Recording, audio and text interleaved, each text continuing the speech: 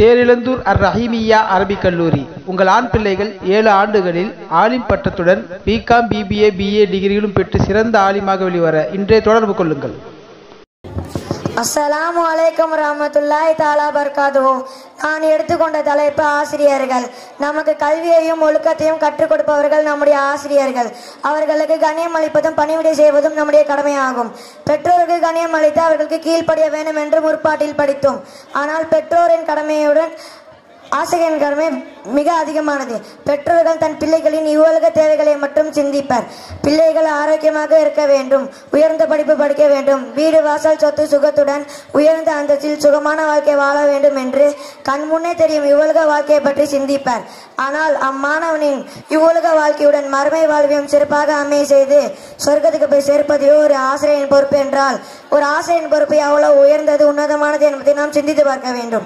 மேலும் நம்முடைய ஆசிரியை கண்டால் எழுந்து நிற்பது அவர்களுக்கு சலாம் சொல்வது பணிவுடன் பேசுவது அவர்கள் சொன்ன வேலைகளை பிரியத்துடன் செய்வது அவர்கள் குரலுடன் தாழ்ந்த குரலுடன் பேசுவது அவர்கள் உபதேசங்களை கவனமாக கேட்பது இவையெல்லாம் ஆசிரியர்களிடம் நடந்து கொள்ளும் ஒழுக்கமாகும்.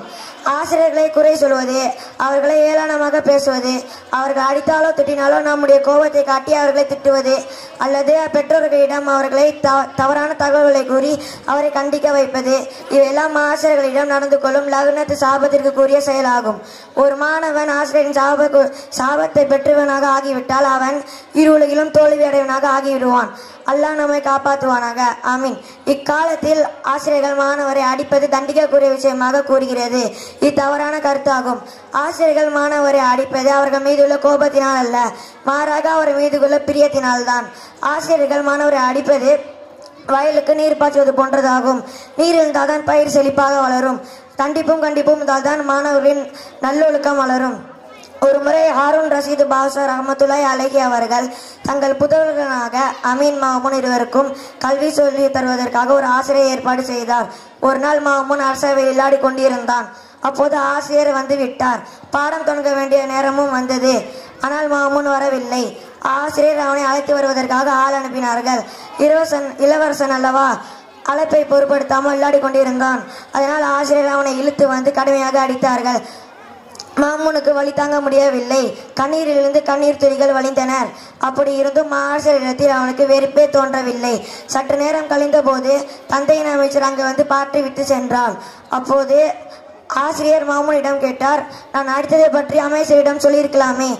ஏன் சொல்லவில்லை? என்று கேட்டார். அதற்கு மாமூன் சொன்னான் ஆசிரியரே தங்களோடு எனக்கு எந்த வெறுப்பும் இல்லை. நீங்கள் என்னை அடித்தது என் நன்மைக்காக தான் எனக்கு தெரியும். என் தந்தை வந்திருந்தால் கூட நான் இதையும் சொல்லியிருக்க மாட்டேன் என்றான். அமீனும் அம்மனும் இலவசலாக இருந்தும் கூட ஆசிரியர்கள் மிக பண்புடனே நடந்தனர். அதனால் அவர்கள் பிற்காலத்தில் மிக பண்பாடாக திகழ்ந்தார்கள். அமீனும் அம்மனும் இவ் இவ் மாணவர்களுக்கு ஆசிரியத்தில் எவ்வளவு மதிப்பு இருந்தது என்றால் ஒரு நாள் ஆசிரியர் கல்வி ஆசிரியர் வகுப்பறையிலிருந்து வெளியே புறப்பட்டார். அப்போது ஆசிரியர் செருப்பு எடுத்து கொடுப்பதற்காக அவ்விரு மாணவர்களும் நான் நான் என்று போட்டி போட்டு செருப்பு இருக்கும் திசையை நோக்கி ஓடியதைக் கண்ட ஆசிரியர் சொன்னார் ஆளுக்கு ஒரு செருப்பு எடுத்து வாருங்கள் என்று. அம்மினும் அம்மனும் நெரிசலாக இருந்தும் கூட அவர்கள் ஆசிரியத்தில் மிக பணிவுடனே நடந்தார்கள். இதை கேட்ட ஹாரூன் ரஷீது பாசர் அஹமத்துல்லாய் அழகி அவர்கள் தங்கள் பிள்ளைகள் ஆசிரியர் மதிப்பதால் அவர்கள் பிற்காலத்தில் நல்லாட்சி நடத்துவார்கள் என்று நினைத்தார். அதுபோன்று அவ்விரு மாணவர்களும் அந்த ஆட்சி பொறுப்பை ஏற்று நீதி நேர்மையுடன் நல்லாட்சி நடந்தனர். அதே போல் நாமும் ஆசிரியருக்கும் கண்ணியம் அளிப்போம். இருவர்களும் வெற்றி பெறுவோம்.